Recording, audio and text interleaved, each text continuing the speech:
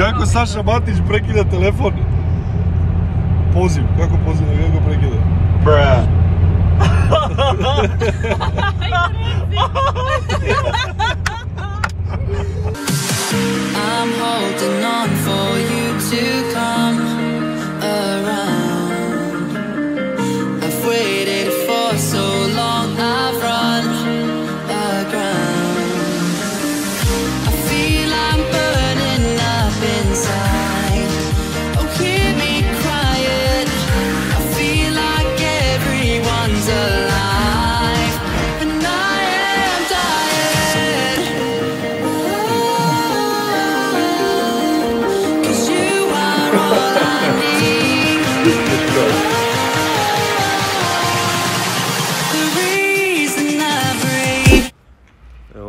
Evo, upravo.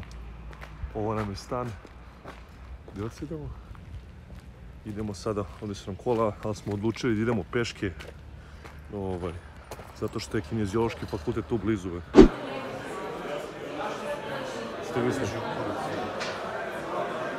Ovdje je ulaz za ovu dvoranu veliku. Ovdje je prijava. Kineziološki fakultet u Zagrebu.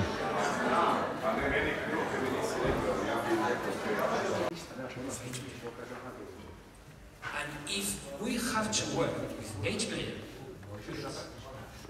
consider these three little details. Pleasure and thank you for your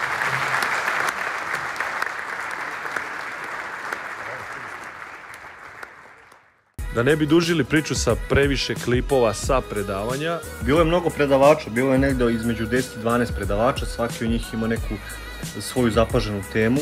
Tako je. Ove ljude koji vidite ovdje veliki broj, to su ma- mahom sve profesori, sportski treneri, kondicioni, psihoterapeuti, terapeuti i tako dalje. Jako velika imena u sportu, ja znam da je bio od, ove, od najpoznatijih je bio ovaj, evo ovaj sad što gledate klip, o, glavni tre, kondicioni trener iz Toronto, Raptorsa. Raptorsa. Bio je čovjek koji je kondicioni trener u Mussolini,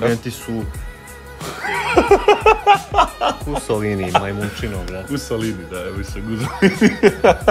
Još jedno jako, jako zvučno ime eh, od predavača koji su bili u Zagrebu je legendarni trener, eh, kondicioni trener Juventusa, Roberto Sassi.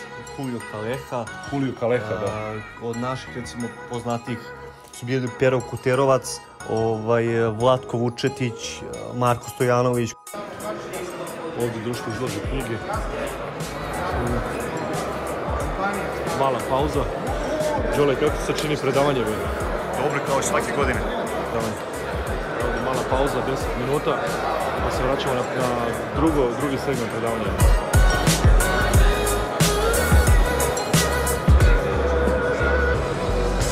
da vam dva kondiciona trenera koji rade personalne treninge, individualne sa nekim od igrača, Vlatko radi sa najboljim na svetu, jeli? Da vam, da vam ispričaju kako oni vide individualni trening futbolera sa kojima rade, koji sad- sada igraju u Engleskoj, m, Španiji ili bilo gdje. S- zašto je to interesantno? Ja i Vlatko imamo skoro iste biografije, skoro iste, e, isti nam je razvojni put. Magistarski radovi su nam skoro identični, doktorski radovi su nam skoro identični. Posle drugog segmenta predavanja zajedno smo se uputili ka tržnim centrima u centru grada Zagreba i posle smo otišli da razgledamo grad.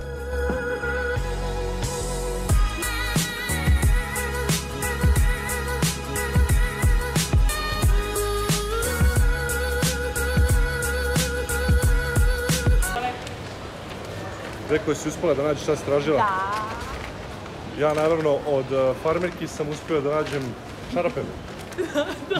Evo ih. Strašno je te život. Sada idemo ka Decathlonu, to jest Đole ide ka Decathlonu, ja idem na trening.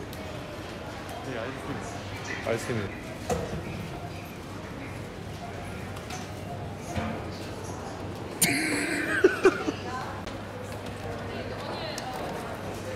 Vlogiramo u sred mola i Đole to je jako neugodno. Nema sad, ovaj, pošto svi ljudi gledaju u Zagrebu, zašto vlogiramo trenutno, možete primetiti koliko se Đolko svira ovo vlogiranje. Svira, sviđa. Evo, zakucao sam ponovno. Đole, što imaš da dodaš na sve ovo? Želim kući.